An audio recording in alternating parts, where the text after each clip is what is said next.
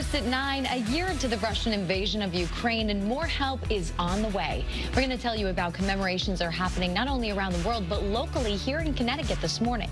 And a new social media app prompting warnings from police. We're going to tell you about TIA and why local parents are sounding the alarm. And we've been flipping back and forth from spring like to winter temps. So we are learning all about the ideal time to start setting up your garden this year. And rev up those engines. There are some big mm-hmm. trucks at the XL Center. Marcy Jones takes us through the setup of Monster Jam. That's ahead on Great Day at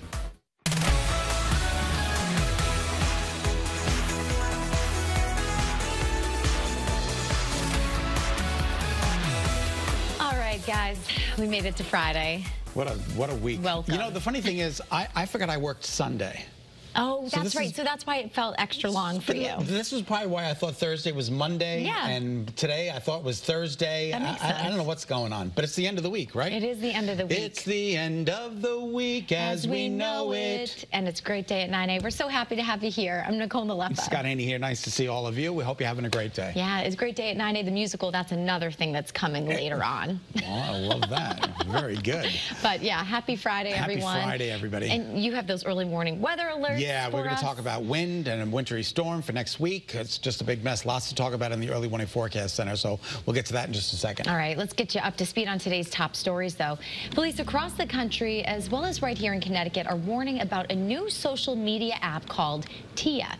So while the app claims it's a way for people to connect, many are worrying that criminals are using it to prey on our children. Yeah, TIA works like this. People from all over are able to talk in chat rooms, share their screens, not good, and play truth or oh, I know. Play truth or dare. That's not good either. Not good either. Doesn't sound good. But parents in East Hartford are sounding the alarm saying that despite the designed age restrictions, there's reports of users soliciting inappropriate photos from children. So the age requirement is 17 and up. Ugh. But, you know, so many cybersecurity experts are saying that it can be hard to obviously monitor your children's screen time, but it is so important that they stay on top of it as much as they can, and more importantly, that they have conversations with their kids about, you know, the warning signs to look out for. If yeah. you are being, you know, targeted by any, uh, I know it's just it's so disturbing, and it's just a hard thing to tackle and hard to wrap your your Happy head around, right? Exactly. Especially as a parent, you know. But it's the day and age we live in, and uh, so please make sure to have those conversations with your kids, regardless of age, even if they are teenagers. Exactly. Too. And a day of commemorations, reflections, and defiance in Ukraine. Leaders there are stopping to mark one year since Russia invaded their nation. Ukrainian President Volodymyr Zelensky pushed for victory this morning. In his televised address, President Zelensky promised to liberate the people living in Russian-occupied territories, saying in part, quote, we have not abandoned you. One way or another, we will liberate our land. Support for the Ukraine is rising up against across the uh, world right now. The U.S. is promising a fresh $2 billion aid package. U.S. Secretary of Defense Lloyd Austin says America will stand by Ukraine for quote, as long as it takes, end and, quote. And there are several events that are happening locally here in Connecticut to mark one year since the Russian invasion of Ukraine began.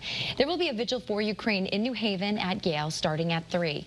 And the nonprofit organization Hearts for Ukraine will be holding a community gathering today. One starts in Hartford at 4.30, and another one is being held in New Britain at 6 tonight. And there's also a few other things I know we were mentioning this morning. Yeah, so sure. head to the Channel 3 app to find the full list. Okay, let's check out to see how the weather's going to be for all of these events you better dress in your winter woolies. Got a couple of snowflakes out there for you, maybe even a couple of raindrops over Torrington. Not a big deal. They're sweeping in from uh, New York State, but uh, again, it's more picturesque than anything else. Let's take a look at early morning futurecast tomorrow's weather today. Increasing amounts of sunshine. Sunshine won't go away today.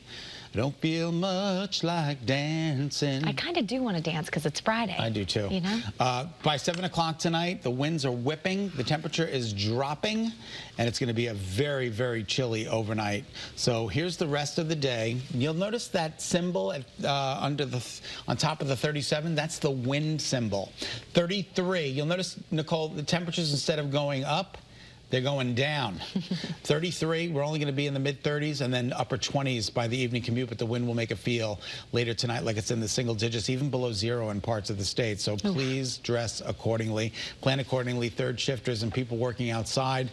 Uh, God bless. You are going to be dealing with some pretty harsh conditions today and tonight and tomorrow. Temperatures tomorrow only in the mid 20s, and I'll be back with your three day forecast coming up in less than 10. Okay, I feel like I ask you every day. So this is more typical for February? It's is way below normal. Way below normal. yeah, 41 is the normal high, so tomorrow daytime okay. high is only in the low to mid 20s. So we are just a roller coaster.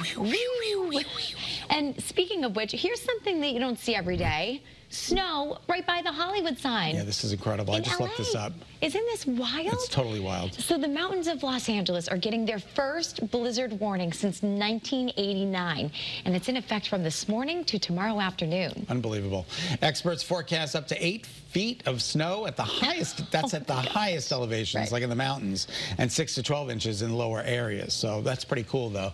They don't really get a lot of snow in Los Angeles. I mean, do they? I mean, even like an inch or two. You, yeah, I feel like you don't hear about it. It it. would snarl up the whole community. Yeah. I got to call Anthony, find out what's Oh, going on. Oh, yeah, you there. should. Got a friend in California, see what's going on. Absolutely. Maybe he can report back and call in. I'd maybe do a live report for us. that would be awesome. Mm-hmm. And maybe they could send us there to do it too. Send us some of their snow since we don't have any. exactly. All right, now for an important consumer alert. Oh boy, I have one of these. You do? My mom sent me the alert this morning and the in the details. Did she yeah. send, who bought it? Did you buy it? She it? did. She bought it for you. us. She's Yep. trying to burn your house down. I know. Listen to this. You know those air fryers? Well, well, well, two million Cosori air fryers are being recalled because they could catch fire, as Scot was just alluding to. yeah, the company says there have been 200 reports of the product overheating, melting, and even catching fire. Yeah, the air fryers were sold at Amazon, Best Buy, Home Depot, and Target from June 2018 through December, so you can return them for a full refund. In fact, Cosori, if you just go to their website, they have all the details on how you can yeah. follow the step-by-step I'm sure to they get your want to get those products back. Yeah, and I mean, millions have been sold, so. It's incredible. Yeah. Hopefully your house I is see intact. another another thing I don't need on my counter was an air fryer. I'm glad I didn't buy one. See, I actually love my air Do you fryer. love your air fryer? Oh my gosh, we use it more than the oven. Oh my gosh. Because it's so quick. We have no time You'll have to teach me how to use it. Oh, I will. Maybe I'll even cook for you sometime. I would love that. That's saying a lot. That is saying That a is lot. love. All right, some more consumer news to pass along to you. All right, listen to this. A new survey shows that out of over 1,200 Americans, nearly two-thirds have at least one unspent gift card. Do you have? A, I know I have unspent gift Yeah. I know I do too. I save them for something I really Yeah, need, and then you don't and then you forget. At least half admitted to losing a Mm-hmm. gift card before using it. Experts say there could be as much as twenty-one billion dollars worth of unused credit cards across the country. And they- a, that's a lot of cash. That's awful. And they don't expire until at least five years from the activation date, according to federal law. So you better start looking for them. In fact, I had a $400 gift card Stop from um, our cable and cell phone carrier. Yep. If we switched over, Yep. I, I, It I- expired. yeah. Oh, okay, that's I not still, good. I, I still am carrying it around in my wallet, and I don't even know why. No, because uh, you think you're going to call them and try and negotiate something and forget tried. it. All right, we are sending it to Marcy. Take a look. Guys, yes, that's exactly right. Happy Friday. We are previewing Monster Jam. Now, I was looking for the really big trucks, but I can't find any. So hopefully by the time this break is over, we can get some big trucks for you and everyone's gonna have a great day. We'll see you guys soon.